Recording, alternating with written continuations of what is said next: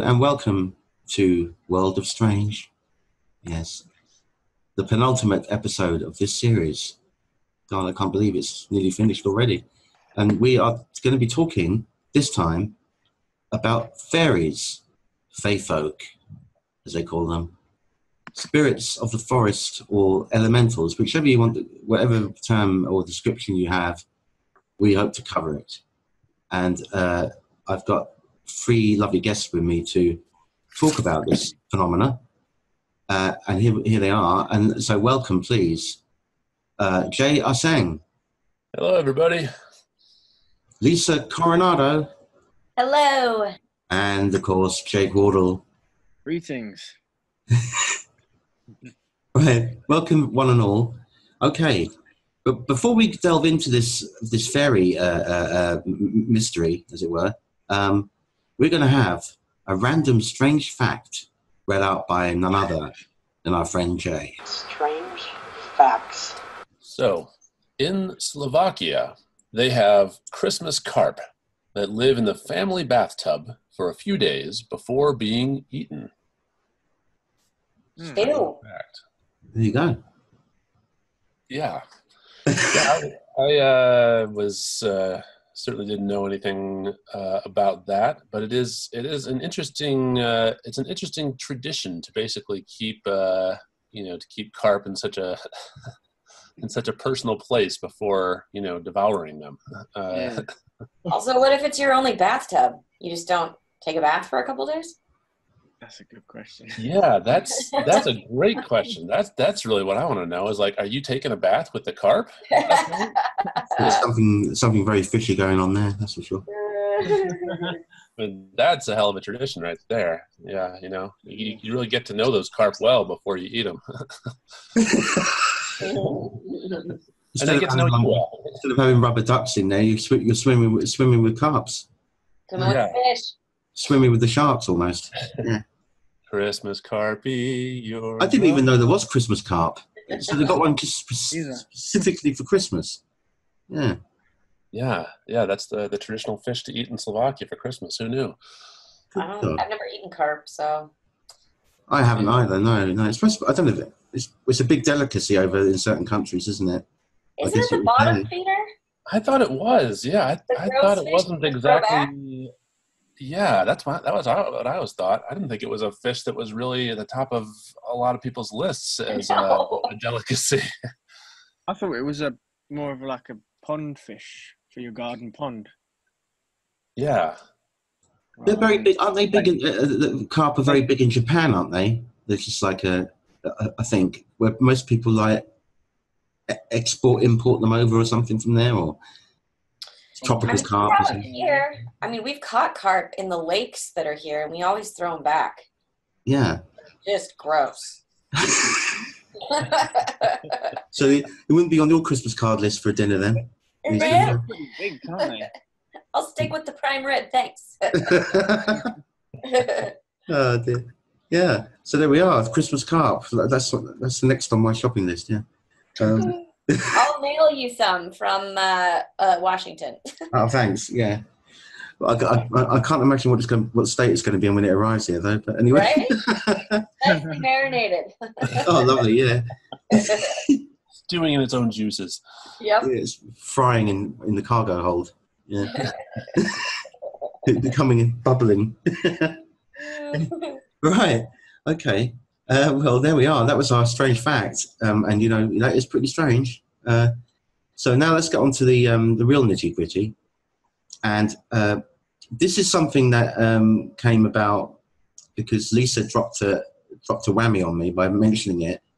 Because originally I was I was going to send her just a story, you know, to read out by someone else, but um, Lisa happened to mention when I mentioned the fact that the next episode we we're going to do is fairies she immediately said, "Oh, I got a story for you that happened to me to to Lisa uh, when Mhm. you were filming in Ireland, I believe, Lisa."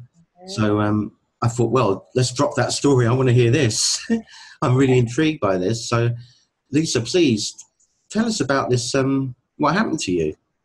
Okay, well, um, my first trip to Europe happened to be to Ireland, um, and I'm of Irish descent, so I was pretty excited. Um, and it was summer of 2016. I went over with uh, four people, and we made a film um, in uh, West Cork, Ireland. We were right kind of on the the southern southwestern tip on the on the water, and we were on day five of seven of filming, and it's a period piece. So we brought over vintage costumes, and we were extremely excited because we were filming on um, I think it's called Browhead Point, and Star Wars had just wrapped.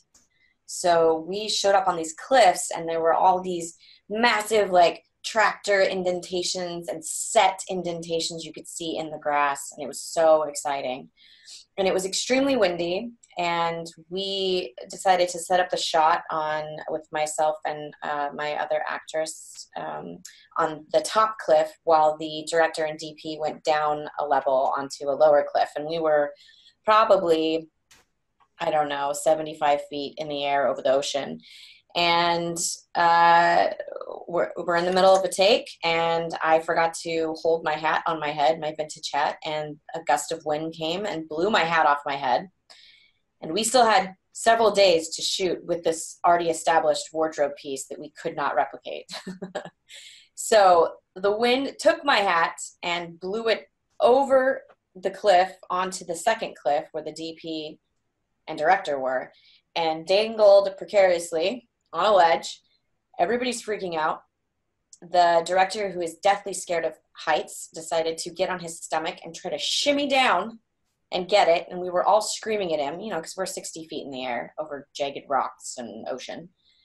And we all stared at the hat as oh, another gust of wind came, blew it up in the air, and down it went over the cliff, and we couldn't see it anymore. And for whatever reason, I got really stressed out and really firm. And I yelled over the cliff, Hat, you get back here right now. And all of a sudden, up comes the hat, 75 feet up, and lands at my feet. We don't know how this happened. I basically feel like I talked to the fairies and asked for their help because our shoot would have been in so much trouble not having this hat. And uh, and yeah, that was kind of my uh, my introduction into a gift from what I believe to be the fairies. wow. Good God, Very that's really lovely. That yeah, uh, but it could have it could of course you know be let's let's you know let's use a you know a rational mind here for a moment. It could have just been a freak gust of wind. Uh, Yeah, that blew Yeah. it back up. I don't know, but um, it blew it up 75 feet right back to me, right back where you were. right where I was. And I was several, I was like, I don't know, 50, 60 feet away from where it had actually gone over the cliff. I, it was, and it, everybody saw it. coincidence. Yeah, everyone saw it. It saved our shoot. I mean, it was so. Uh, it's the we, most crazy thing that has ever happened to me. Wow.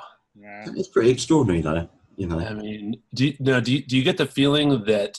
I mean, it seems like something uh, other was going on to to bring that hat back to you. But uh, do you think that uh, whatever was causing that was also what caused it to go over the edge in the first place? You know, that like fairies were also like causing mischief initially, and then brought it back to you. They they I just mean, want to play a big prank on you. well, we had shot a couple days before at a a- castle, an old ruined castle with a haunted lake, and we had to take some water from it. And we were really terrified because it was supposed to be a woman that haunted it.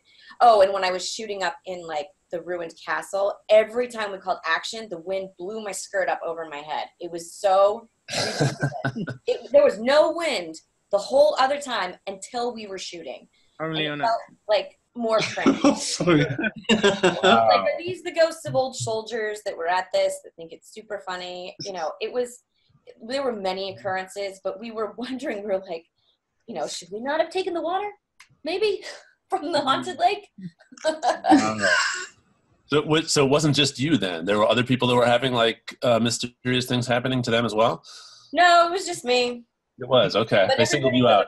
around so i mean it, everybody saw it but i had two no i had three actually um, when we shot at an old, like 5,000 year old Neolithic tomb in a pasture in the middle of nowhere.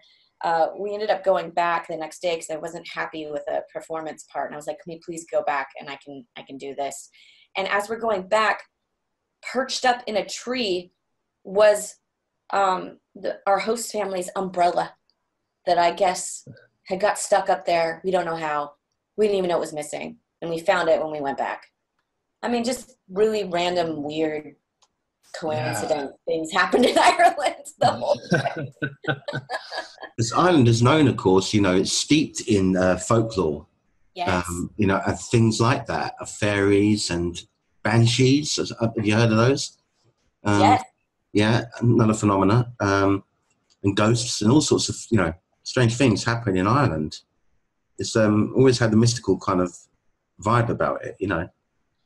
That was the theme of the film, and that's why we chose Ireland because we were Ah, thought, where could we get some incredible, not only like um, locations, but just just the feeling of that, and it definitely delivered.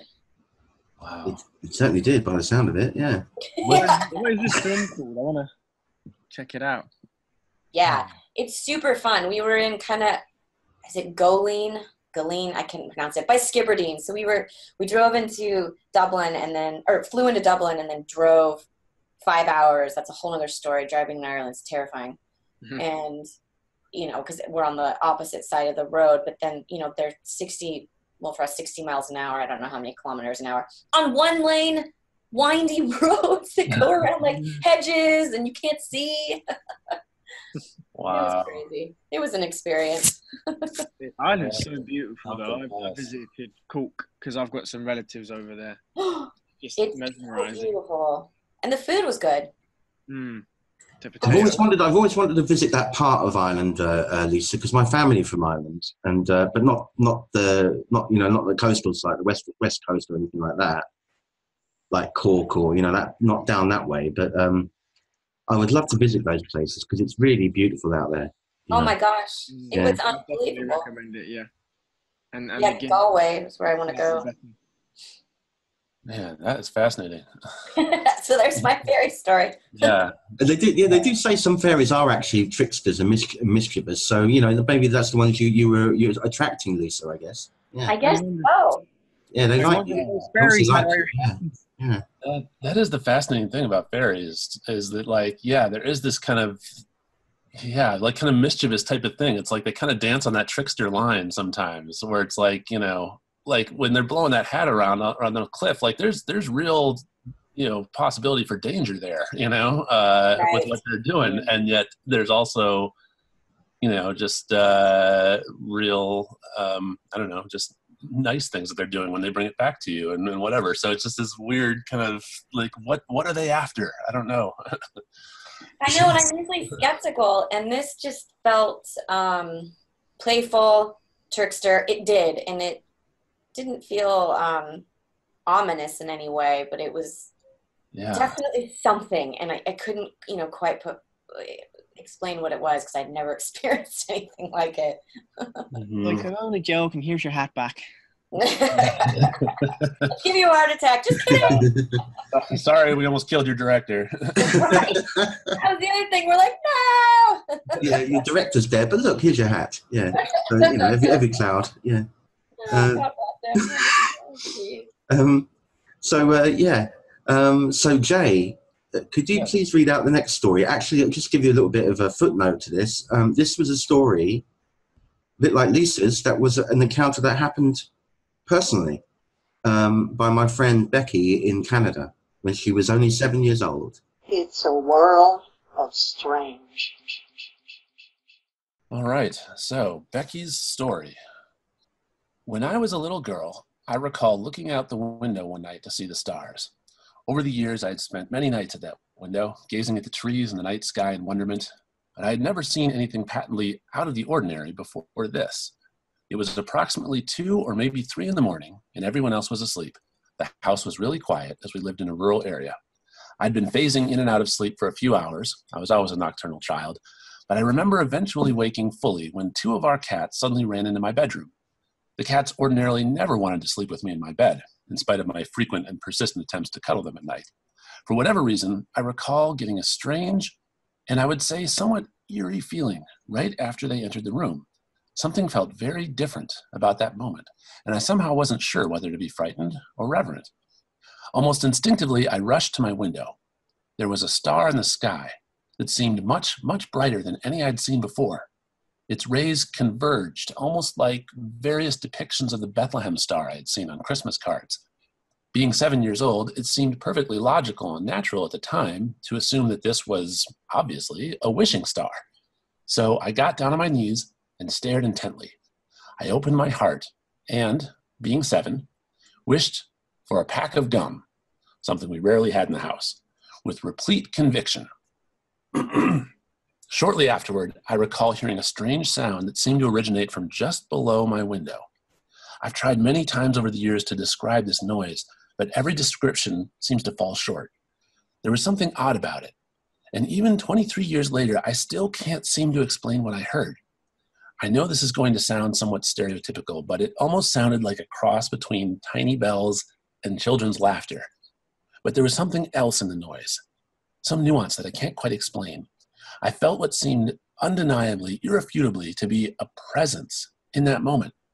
At first, I wondered if a child or a group of children had found their way into the garden. There was a slight sense of mischief about the sound, but it didn't quite remind me of anything I can place. I didn't have very long to think about what I'd heard before I saw what was likely the strangest thing I've ever seen. Something flew past my window. It went from right to left. I don't know where it originated from before that.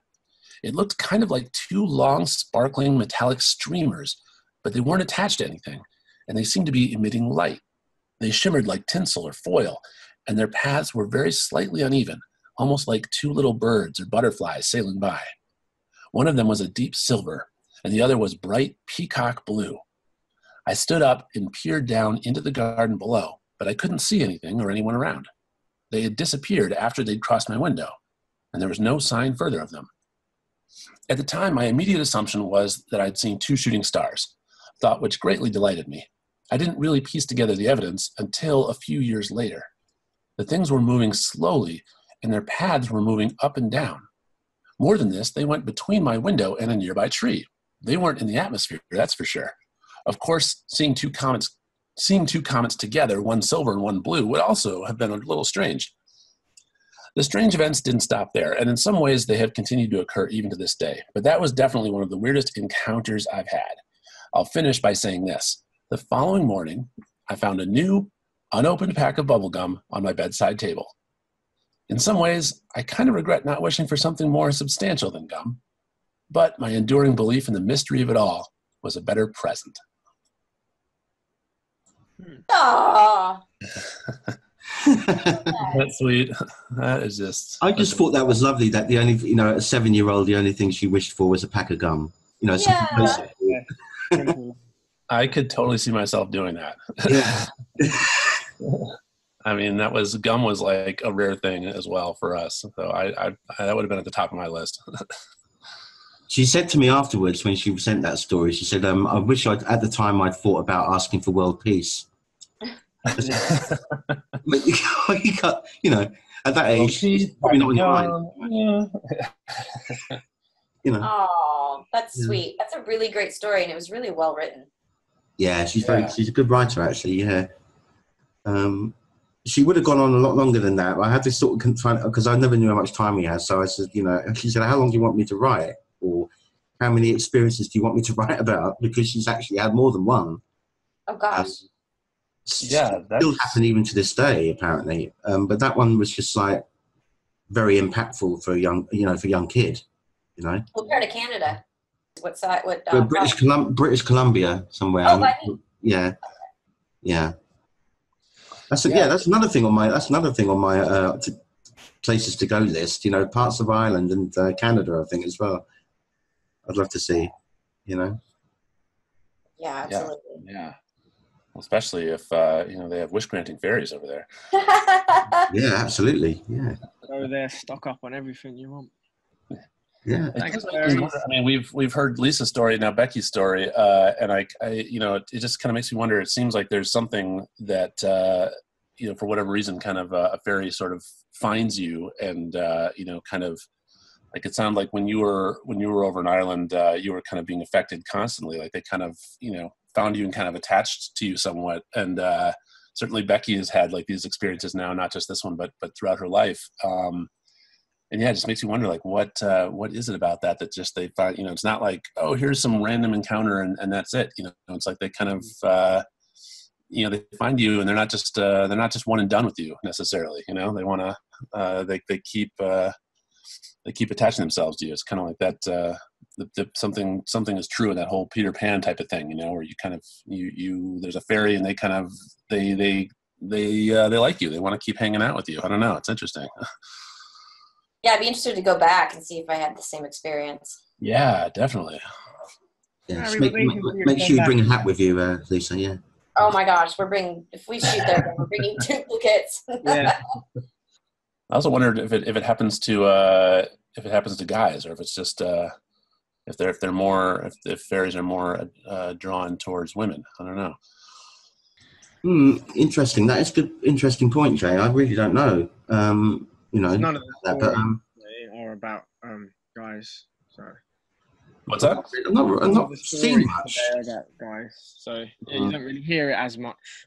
You don't. You don't. Funny enough, no, that's right. Um, I, I dare say it must happen, or must have happened at some point. You know, but uh, you just don't read see many stories about that. Um, Mhm. It does tend to be.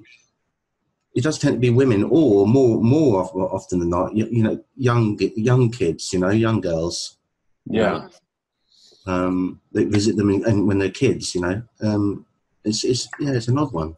Um, but Jake, you have a little bit of um, a little bit of info um, for us about uh, talking about young g- girls again. Uh, uh, um, this story was made into a movie called Fairy Tale: A True Story in 1997, um, based on this account that happened.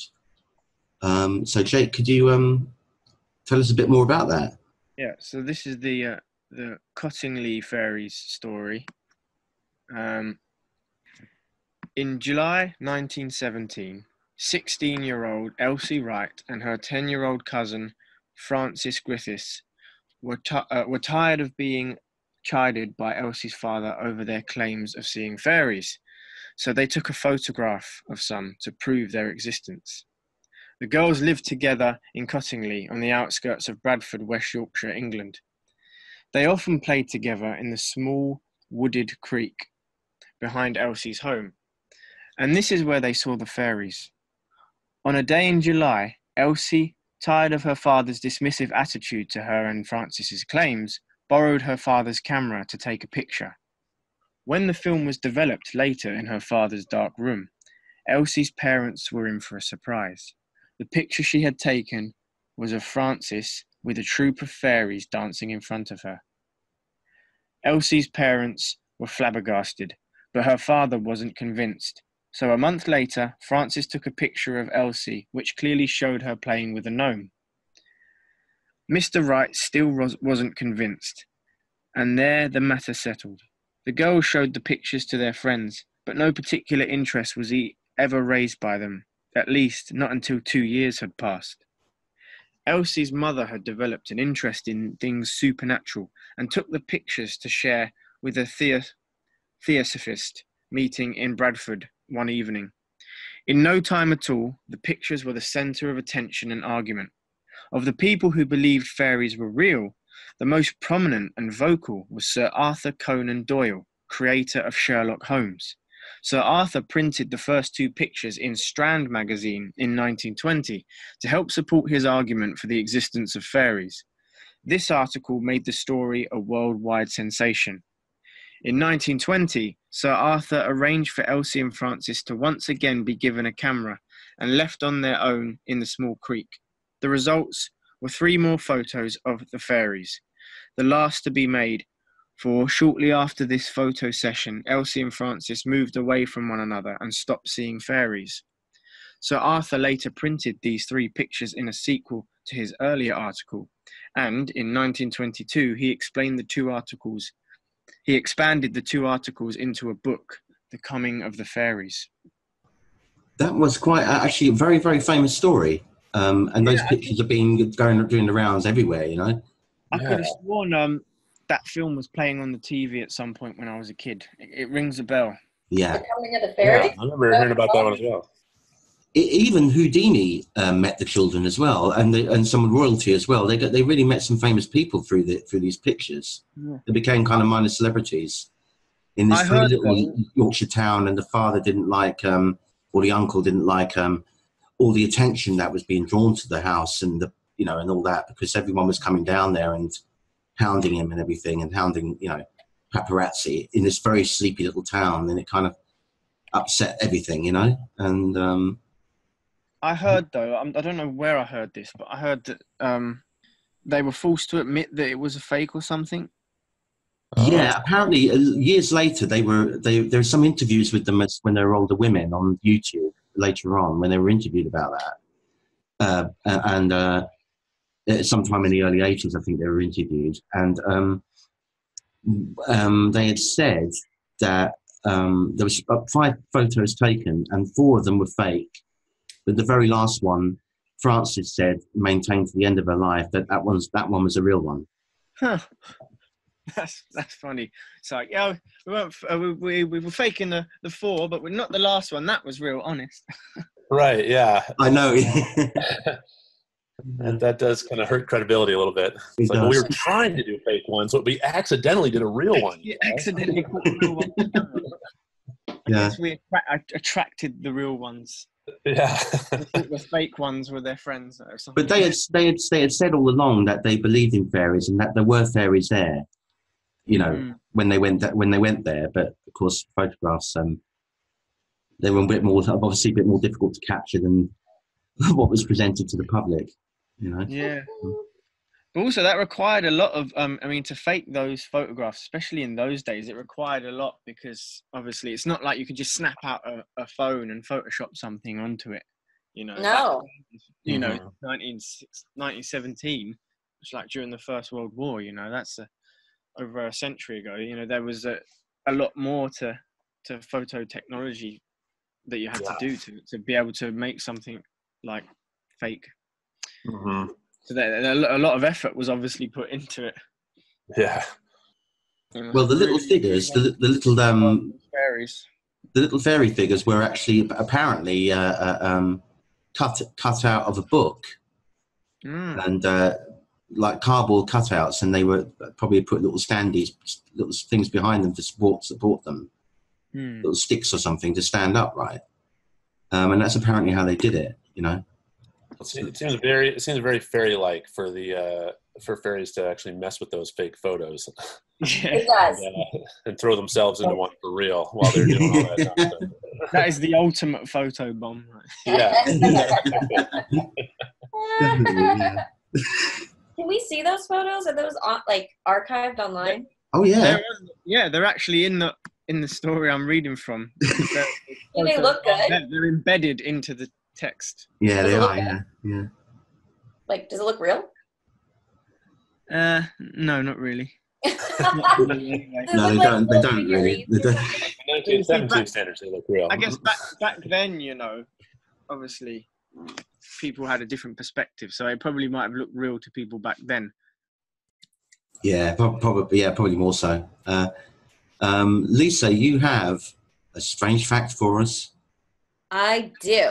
Strange facts. It took the creator of the Rubik's Cube, Erno Rubik, one month to solve the cube after he created it. Yeah, and apparently the, the one of the world records was 4.22 seconds. Uh, Oh, jeez. Really? yeah. How? I can't even get it one rotation in four seconds. How is that possible? If he created it, shouldn't it already been like pre-solved? I guess in in the design. you would have. Well, you would have thought so, yeah. So, you know, the fact that the creator of it took a month to fit to actually solve it is quite funny when you think that someone actually could do it in like four and a half seconds. Jeez. yeah. That's, I, you just you can almost- randomly make it and say, "All right, I'm going to test to see if I can solve this." I don't have Yeah. the patience for that one. Hmm.